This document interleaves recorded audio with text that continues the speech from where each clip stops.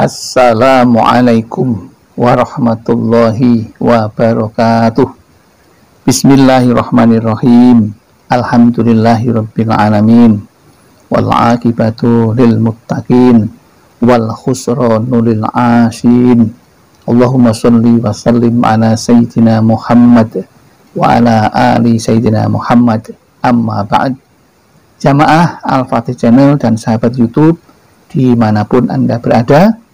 Senang sekali bisa berjumpa pada saudara-saudaraku saat ini yang dalam keadaan sehat walafiat.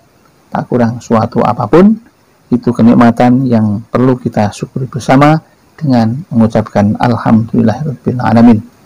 Salawat dan salam semoga tercurah keharibaan baginda Rasulullah, Nabi yang kita cintai dan kita ikuti sunnah-sunnahnya. Pada kesempatan yang baik ini ingin kami berbagi kepada saudara-saudaraku tentang satu amalan yang menjadi kunci penyebab Allah sayang kepada kita. Adapun judulnya yaitu kalimat kunci penyebab Allah sayang dan kabulkan hajatmu. Baca doa mustajab ini minimal tiga kali usai sholat fardu.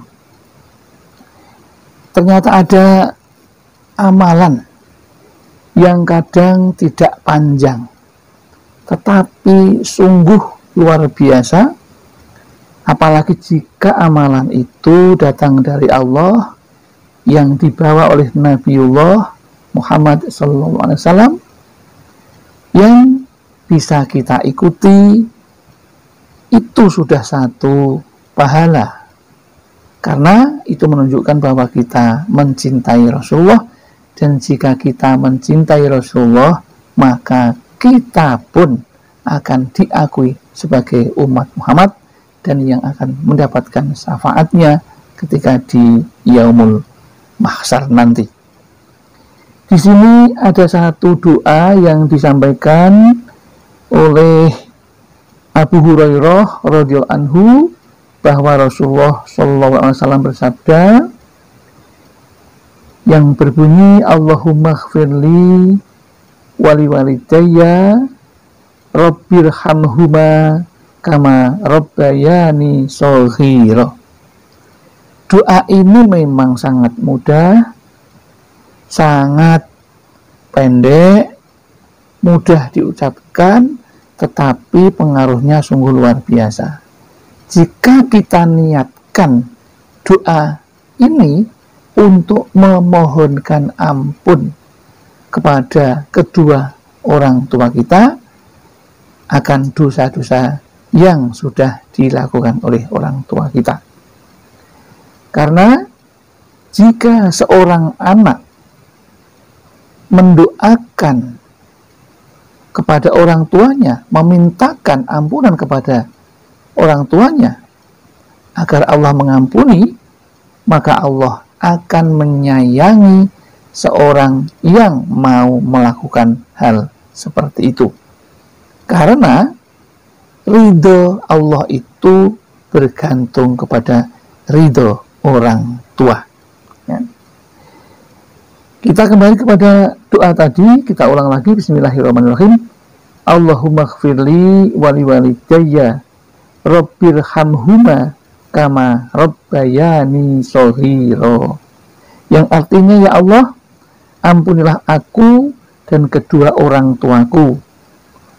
Tuhan kasihanilah mereka kedua orang tuaku sebagaimana mereka membesarkanku ketika aku masih kecil.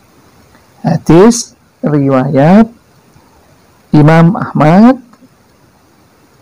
Ibnu Majah dan yang lain. Jadi doa ini berasal dari Nabi sesuai dengan sunnah Rasul. Jadi kalau kita mengamalkan doa ini sungguh sangat mulia dan bermakna yang luar biasa bagi kedua orang tua kita dan hal ini akan menjadi penyebab Allah menyayangi kita karena kita menyayangi orang tua kita dengan doa yang sungguh luar biasa yang diajarkan oleh Rasulullah ini.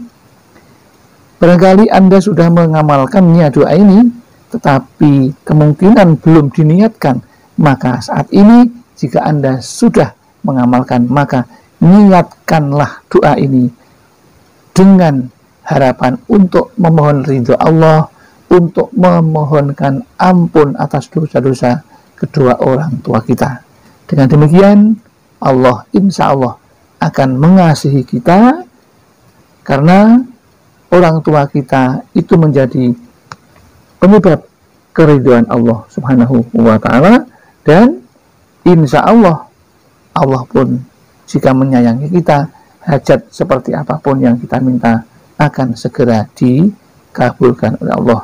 Dan doa ini bisa Anda baca minimal tiga kali setelah selesai sholat fardu dan boleh pula diucapkan di mana pun dan kapan pun Anda ingin mengucapkan doa ini karena keridhaan Allah dengan membaca doa ini akan selalu datang kepada kita.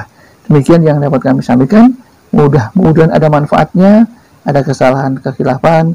Kami mohon maaf yang seterusnya. Akhirul kalam billahi taufiq wal hidayah wal inayah wal barakah. Assalamualaikum warahmatullahi wabarakatuh.